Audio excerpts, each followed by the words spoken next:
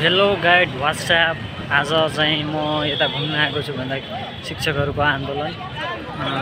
यता नयाँ बानेश्वरमा नयाँ बानेश्वरको माइती घर मण्डला उता त्यहाँदेखि पुरै नयाँ बानेश्वरको जहाँ जहाँ यो यहाँ कोटेश्वरसम्म जुन चाहिँ आन्दोलन छ यिनीहरूको त्यही हेर्न आएको छु र एउटा दायित्व भन्छ कि भने त्यो के भन्छ नि? शिक्षकले जुन हामीलाई एउटा पिता भन्छ नि त्यस्तै एउटा सम्मान गर्छ कि यानि त्यसले बनाउने एउटा शिक्षक हामीले बनाउने मतलब जिन्दगी एउटा बनाउने त्यही शिक्षक नै हो। कि होइन? त्यही कुरालाई हेर्नु र सहयोग गर्न टिचरहरूलाई म आएको छु यता आन्दोलनमा। साथसाथै टिचरहरू पनि गइरहेछ। म अहिले भन्दाखेरि यता अँ, माइतीघर मण्डलातिर गइरहेको छु अनि हाम्रो स्कुलको पनि भन्छ नि टिचरहरू आएको छ। त्यहीलाई अब भेटौँ कि त्यो भएर चाहिँ आएको हो। तर अहिलेसम्म भेटाएको छैन। त्यही पनि भेट्न म खोज्छु। माइती घर मण्डलातिर गइरहेको छु। भेट्छ भने अति राम्रो। अनि एउटा सहयोगको रूपमा आएको छु भनेर पनि भन्छु। त्यही हो। अब अगाडि बढ्दैछु। अनि यो चाहिँ काठमाडौँको बब्बर महल जिल्ला अदालत हो। काठमाडौँको जिल्ला अदालत यता अनि अब अगाडि बढ्दै म पनि फेरि स्टार्ट गरेँ।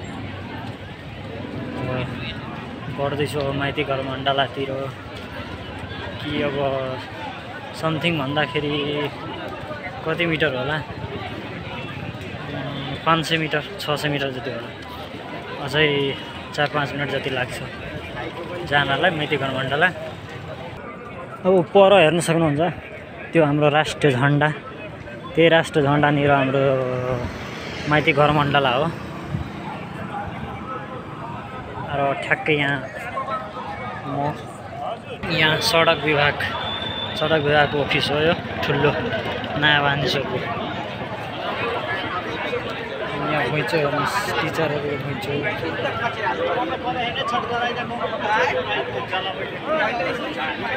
चार सय मिटर जति छ।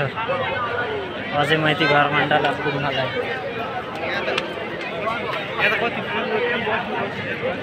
र पुगेपछि तपाईँहरूले हेराउनेछु त्यहाँ पनि आन्दोलन अहिले मतलब केही मागहरू भनिरहेछ आफ्नो के हो. हाम्रो टिचरको माग के हो? के कारणले हामी आएको छु भनेर त्यो मागहरू भनिरहेछ अलिअलि साउन्ड आइरहेछ त्यहाँ माइकबाट तपाईँहरू सुन्न सक्नुहुन्छ ठ्याक्कै त्यहाँ हेर्दाखेरि यता पछाडितिर र अब सय मिटरको दुरीमा अब आइसकेको छु। हेर्दा हेर्दै टिचरहरूको पुरै यता घुइँचो छ। यहाँ यता पनि यता पनि आफ्नो मागहरू भन्दैछ। के हो? हुँदैन भने हामीहरू मतलब अन्तिमसम्म लड्ने छु।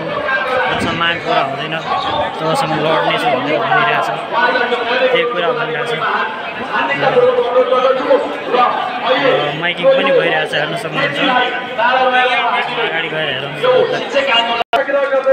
आदरणीय साथीहरू तपाईँका अगाडि निरन्तर डटिरहने मेरो मन थियो तर मलाई अशक्य अहिले खुट्टामा पीडा भएको छ।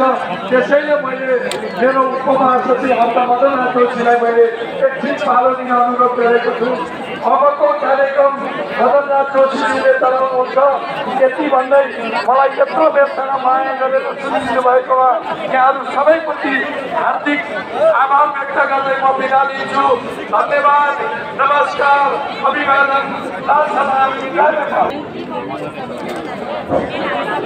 धन्यवाद हामी महासचिव त्यसपछि आफ्नो तिन मधेस शिक्षक फोरमका उपाध्यक्ष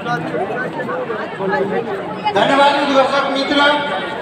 नेपाल शिक्षक महासङ्घका सङ्घीय अध्यक्ष आदरणीय कमला कोलाजी र